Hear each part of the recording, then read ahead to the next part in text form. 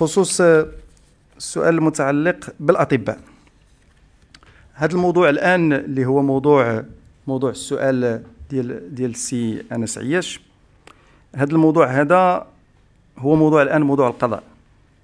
ووزاره الصحة قامت ببحث قامت بواحد التفتيش داخلي. وتمت يعني دراسة هذه الحالة هذه من مختلف يعني الزوايا. هذا المرحوم هذا الطبيب المتوفى رحمه الله آه، كان يدرس للحصول على الدبلوم الوطني للتخصص بجراحة المسالك البولية بالمستشفى بن رشد والذي بدأ تكوينه منذ 11 مارس 2019 اللجنة يعني قامت بواحد البحث. آه، غادي نعطي بعض العناصر على أساس أنه هذا الملف الآن هو ملف متابعة قضائية وسوف نترك المجال للقضاء لكي يقول كلمته. اللي نقدر نأكد هو أن الدكتور آه، المرحوم نجح في كل تداريبه وحصل على نقاط جيدة. آه، قام يعني مثله مثل الزملاء ديالو في هذه الشعبة هذه بالتدريب آخر في أونكولوجيا المسالك البولية.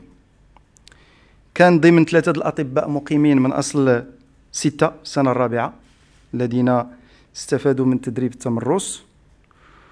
والخلاصات العمومية باش ما ندخلش فيها باش ما ندخلش في التفاصيل. يعني يعني المرحوم رحمه الله شارك في المرحلة مثلا من 10 يناير 2022 حتى المرحلة ديال 10 جوان 2022 في 27 عملية جراحية. بمعنى أنه كان يعني يشتغل من بينها خمس عمليات أنجزت في شهر جوان يونيو. آه، كما قام بالحراسة بمصلحة المستعجلات وتوصل بالتعويضات مثله مثل باقي زملائه. قضايا أخرى مرتبطة بال يعني بال, بال بالأستاذ الآخر الذي تم يعني تمت الإشارة إليه.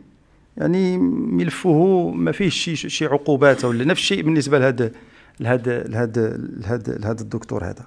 فاللي نبغي نأكد هو أنه الحكومة الآن عازمة باش باش باش تقوم بالمنظومة الصحية في شموليتها وهذا واحد هذا واحد من العناصر الأساسية هذا الموضوع ديال الظروف ديال الأطباء المقيمين إلى غير ذلك.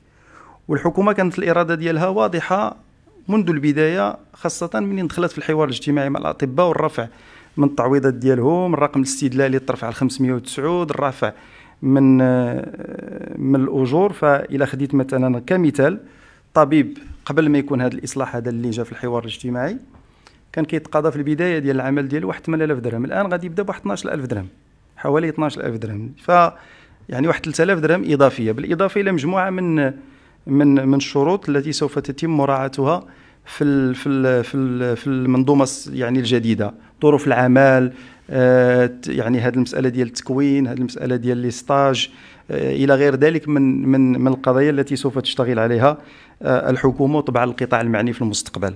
ف يعني اجمالا اجمالا المنظومة الصحية اليوم تحظى بعنايه كبيرة وبمتابعة دقيقة من طرف الحكومة.